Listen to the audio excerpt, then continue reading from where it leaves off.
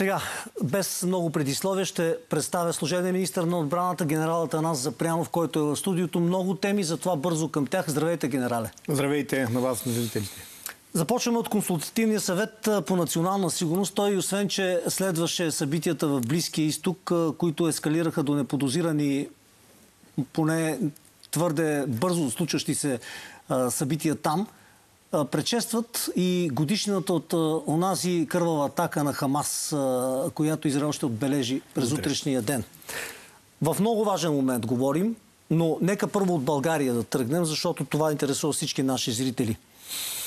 На тази среща за пореден път беше отбелязано, че армията трябва да се доокомплектова. Българската армия освен, че трябва да стигне до 2,5% от брутния вътрешен продукт за въоръжение и за инфраструктурни проекти, тя има и недостиг на кадри. Какво правим в тази ситуация? Да, това беше важен въпрос, който беше разгледан в контекста на ролята на армията в тази ситуация на ескалираща криза в Близкия изток, която е на ръба на война, широкомащабна война. Надяваме се, че няма да се стигне до там, но ще видим какъв ще бъде отговора на Израел. От това зависи твърдя много. Въпреки всичко, Израел продължава военните действия срещу Хизбола извън територията на Израел, с което се опитва да парира тези нападения. По отношение на въоръжените сили, още тогава стана дума, че ние нямаме нужда от привеждане на войските в по-висока степен на готовност в тази ситуация, но че армията трябва да бъде окомплектована, трябва да има достатъчно личен състав, защото имаме в момента хора на границата. Ако са наложени, трябва да увеличим броя на хора на, границата. Забележете обаче как ми говорите вие. Трябва, ще направим. Да. А конфликтите се случват. Украинския, този в Близки изток. Не закъсняхме ли вече доста? Ами, често казвам, да закъсняхме, но с последните мерки за увеличение на заплатите от нова година и нарастването на бюджета, вече имаме 2,08 тази година, надявам се до година да бъде поне 2-3 нагоре.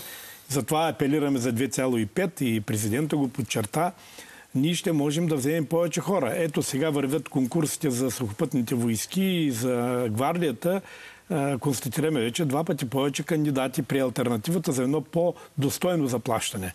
Ако този механизъм плюс социалните мерки, които ще предприемем, се развие по-нататък, се надяваме окомплектоването на армията да се подобри и некомплекта да бъде драматично намален. Добре. И все пак, въпреки всичко, отново темата за военна подготовка на населението беше повдигната на този консултативен съвет и там даже президента Радев отбеляза, че от месеци вие в Министерството обсъждате варианти за военна подготовка на български граждани. Сега някои колеги го нарекоха закон за защита на отечеството, но на мен ми прилича на един друг закон от близкото минало и по-скоро предпочитам вие да обясните за какво става въпрос. Проблемът тук е с запаса. С хората, които ние водим на военен отчет и които, ако се наложи, трябва да привикаме във армията, да ги привлечем и да мобилизираме нови То е законодателство, което засяга само запаса? Военно време, което засяга само запаса. Не, не и връщане под някаква форма на службата, така ли? Но въпросът е как ще готвим запаса в бъдеще, защото последните запасни, които имаме с военна подготовка, са от 2007 година, след края на редовната военна служба. Ние от тогава до сега не сме успяли да подготвяме ежегодно гражданите за военна подготовка и да ги мобилизираме при необходимост в бригади, в батальони и така нататък. И тъй като застарява запаса, по закона за резерва ние имаме резерв и запас, президента обърна внимание, че освен с тези инструменти, ако ние попълним на 100% мирновременната си армия, трябва да мислим обаче и за подготовката на запаса. Защо? Видяхме, че Русия няколко вълни на мобилизация провежда и продължава да провежда. Украина също, за да попълва войските си на фронта, извършва мобилизационни мероприятия. И викате, ние се караме заедно против казармата вече 10 години. Точно така реалната война показва, че ние трябва да имаме имулационни резерви и имулационна подготовка на гражданите. Това ще е закона. Много да, е важно да го уточним, да. защото излезе твърде неясно. Сега, какво е състоянието на армията и военно-въздушните сили? Питам ви не случайно, защото освен, че очакваме до края на 25-та година тези първи 8 F-16 блок 70, които трябва да получи България, знам, че има договори и за бронирани машини Страйкър, както и за ракети Джавелин нещо по-конкретно. Сега за ракети Джавелин нямаме, предстои да сключим договор. За, трябва да кажете сключим. ми за какво количество става въпрос? За, за... Става въпрос за ракетите Джавелин за всички бойни машини, тъй като това е третия договор от договора с General Dynamics, който ние по ФМС, по международните военни продажби сме сключили с САЩ. Ние вече сме изключили договор за бойните машини, за производство асемблаж. Сключихме договор за бойните припаси за тях и Народното събрание ратифицира и тия два договора. Ако това се случи в изражение цифрово, с какво ще разполага България в това направление? България ще разполага за всяка бойна машина да има съответните противотанкови ракети Джавелин, тъй като те са предвидени да осигуряват противотанкови. Не знам дали не е тайна, но колко са бойните машини? Хайде така да специфицира въпроса, но приблизително. Ние говорим за една бригада, която трябва да оборудваме с бойните машини и които трябва да се асемблират в терен Велико Търново. Така че общия комплект от бойни средства по различни типове бойни машини, 30, 30 командно-щабни машини, те ще бъдат първи произведени, след това останалите бойни машини, които ще дойдат. И още нещо, попадна ми договор на страницата на Пентагона. Бойк е сключил договор за бомбите GBU-39 за български и украински F-16. Сега, този договор какво означава? Самолетите ги чакаме 25. Аз видях там, че нека колегите да покажат графиката от факсимилето, което е качено на Пентагона. Всички тези самолети F-16 ще бъдат окомплектовани с тези ракети. Това ли да Така, точно така трябва да разбираме. Ние не купуваме самолетите F-16 блок 70 без въоръжение. В пакета за доставка, както на първите 8 самолета, така и на вторите 8 самолета, освен бойните летящи самолети, към тях има и съответното въоръжение. Ракетно въоръжение, ракети, които Това са... ли е тази сделка всъщност? И, и, и, и оръжие за работа по земни цели. Бомбите са фактически бомби с прецизно насочване от самолетите Договора за работа. обаче за изпълнение до 35-та година. Това е 10 години повече от периода, в който ще получим първите Първата ескадрила. Да, в първата Какво ескадрила... се случва, ако те са В първата ескадрила приоритетно ще получиме всички зенитни ракети, за да носят Air Policing мисията. С вторите 8 самолета ще получим и допълнително въоръжение, което го няма в първия пакет. То е включено, включително и тези средства.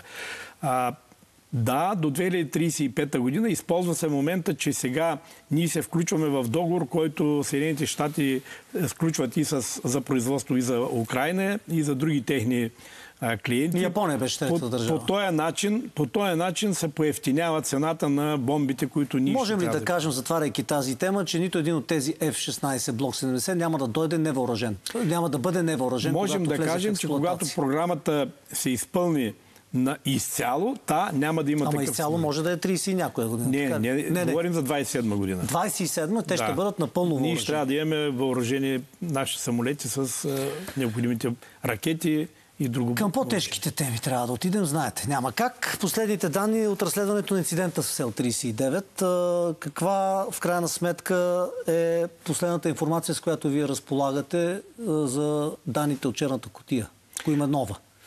А, това, което разполагам и, и, и са ми докладвали хората, които занимават с анализа, че те към средата на месеца ще завършат техния анализ и ще имат подготвен, подписан от тях доклад с изводи, констатации, така че очакваме още една седмица този доклад ще бъде готов. Съобщихте, че загиналите пилоти Петко Димитров и Венцислав Дункин от 12-та авиационна база в Долна Митрополия са имали достатъчно часове във въздуха. Оказва се обаче, че не всички като инструкторите пилоти имат такова количество. Да, Продължава е. ли налета да е недостатъчен?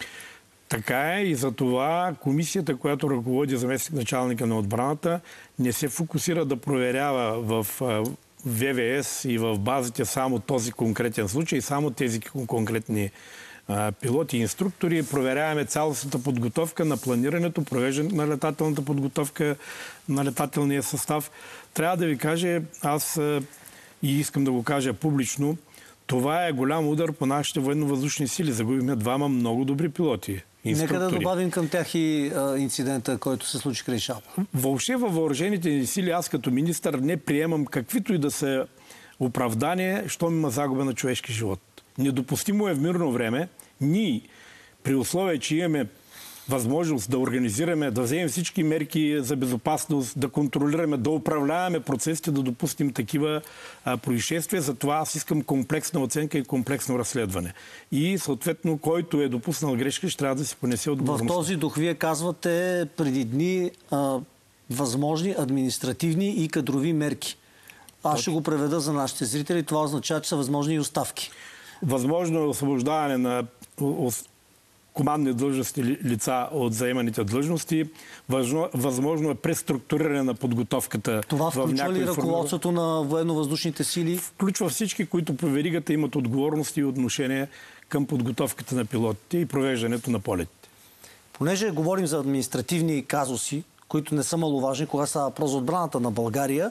С заповед на служебния министр-председател Димитър Глачев и по ваше предложение в началото на септември освободихте заместника си Иван Иванов. Така и остана като едно съобщение просто в медийното пространство. Това причини имаше ли? Те свързани ли са по някакъв начин с проверки в Министерство или има други съвсем прозаични? Напоследък по отношение на Министерство започнаха много инсинуации, които трябва по някакъв начин да ги прекратим, тъй като името на Министерството и по друг повод беше За това ви питам. намесено.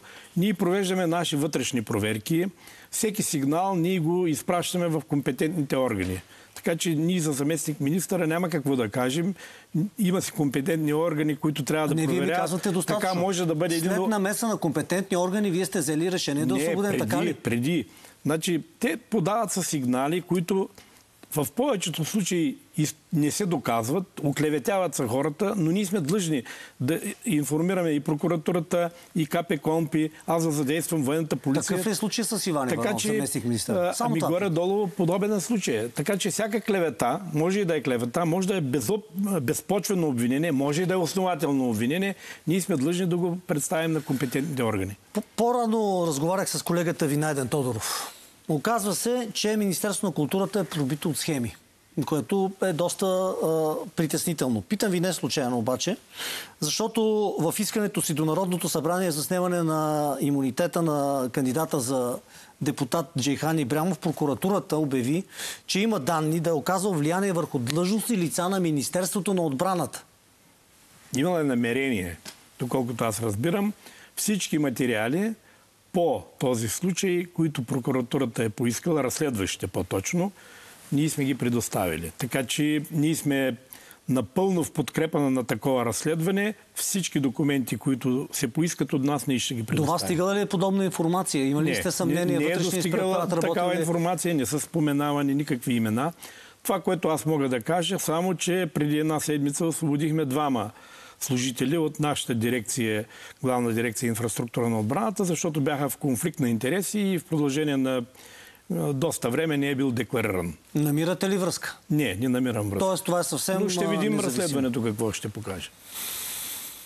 Кажете ми, какво очакваме от следващите 24 часа? Конфликтът в Близкия изток е много, много тежък. Заговори се за възможни удари над ирански ядрени бази мощности от страна на Израел, за обратен ответен удар. Вие е... с каква информация разполагате? Казвате всичко е спокойно, няма пряка запасност за, опасност от, за България. Това на консултативния свет, но дали е така? Говорим за това, че липсва пряка военна опасност за България. Да, нашата служба стратегическо разузнаване работи, другите национални служби за сигурност също работят. Всъщност мога да кажа, че служба военно разузнаване вече доста отдавна работи в 24 часов режим. Непрекъснато аз получавам понякога посред нощ и след, след нощ съобщение от директора, когато има нужда да ми бъдат изпратени. Ние следиме много внимателно ситуацията. Да, Израел е обявил, че отговори. Той беше нападнат директно от една държава и най-вероятно ще отговори директно срещу тази държава. Възможно е това да е свързано и да се случи, ние не знаем тази нощ в отговор на годишнината, може и по-късно, но при всички положения... Казвате, възможно е. При всички положения този отговор е ескалация. Самия ирански отговор беше ескалация и този отговор е още една стъпка във ескалация. Ние как, с какво разполагаме за да се защитим? Разчитаме на нашите съюзници, основно от НАТО? Или... Да, ние сме интегрирани в а, обща система за колективна отбрана на НАТО, включително и противовъздушната ни и противоракетната отбрана на Алианса е в рамките на, на НАТО. Питам за всички, за които говоря, ни гледат. Че Те ни... могат ли да бъдат спокойни, че да. ако конфликта се разрасне и до границите на България, която е външна страна за Европейския съюз, ние имаме на кого да разчитаме в тази ситуация? Конфликта няма как като военна форма да се разрасне до нашите граници. Ние граничим с съюзници в НАТО и на юг, и на юго-исток. Въпросът е, че непосредствено ще ни достигнат беженските потоци. Слушаме сега за какви числа става въпрос. За около 1 милион хора, които са напуснали домовете си в Ливан. Нали, това са потенциалните беженски потоци. Там имаме ли още съграждани, между другото, които трябва да да бъдат. Всички български граждани, които са заявили желание да се евакуират, се евакуират. А имате ли готовност, ако в последствие се появят нови съграждани? Зависи от ситуацията. Значи това, което беше казано и до моя колежката министър Стоянова и от премиера е така. Всеки полет беше на ръба с изключително сложна координация между много институции и на национално и на международно ниво. Така че ако ситуацията е много сложна, може да не е възможно с въздушни мостове повече да се евакуират хора. Разбира се, разглеждат се и други варианти за морска евакуация чрез съюзниците, но аз се надявам да не се стигне до, до такава лоша ситуация, която, тъй като част от дипломатическия ни персонал все още остана там, за да координира. Точно за това остана. Министерството на външните работи остави част от дипломатическия персонал, хем да поддържа и осведомено за ситуация, хем ако се наложи да имаме кой да посрещне тези хора и да търсим начин да ги евакуираме. Какво е усещането да сте министър на отбраната на държава, обявена от Руската федерация за неприятелска? Бяхме в този списък извадени, помните. Питам ви не случайно, защото Русия последните дни настъпва много сериозно в Украина. Като че ли възползвайки се от това, че света гледа на друго място. Вашето усещане какво да, е за така е. Осложняването на ситуацията в Близкия изток е в а, интерес на Русия категорично. Даже има данни и, и а, симптоми, че тя е подпомогнала всъщност тази ескалация, за да може да отличи... Нашите служби имат ли подобни съмнения? Ами, те, те го казват и политически анализатори, много, включително и български, казват го и службите. А, по отношение на това дали съм притеснен, не съм притеснен, защото България е част от НАТО, част от Европейския съюз. Ние следваме обща политика за сигурност и отбрана на Европейския съюз, колективната отбрана в НАТО. България с нищо не заплашва Русия. Абсолютно с нищо. Обратното обаче така, че така е. Обратното е вярно и мисля, че е неоснователно Русия да обвинява България като неприятелска държава, като тя сама започнала война срещу една суверенна държава. Финал. Моля ви се едно изречение, че излязохме от времето. Разбрах, че и вие, и външното ни министерство сте в готовност да окажете незабавна помощ на хуманитарна на Босна и Херцеговина. Да, така е. Министерството на отбраната на България и Босна и Херцеговина сме в контакт. Штаба на отбраната с е, Штаба на отбраната на Босна и Херцеговина. Външно министерство също. Наводненията ами, имат жестоки, много тежка ситуация, изключително тежка ситуация, откъснати селища, липса на мостове, разрушени пътища. Сега оценяваме ние можем ли с е, инженерни сили да участваме в помагане на, на възстановяването на пътна инфраструктура, а пък Външно министерство оценява възможно ли и друга вид хуманитарна помощ да бъде подготвена за... Това предстои да го координираме с ръководството на Босна. Разговорът със сигурност ще бъде с продължение. И това го правим още от четвърти вчера, днеска вървят тези разговори. Благодаря ви. Министърът на отбраната Танас Запрянов в предаването на Фокус.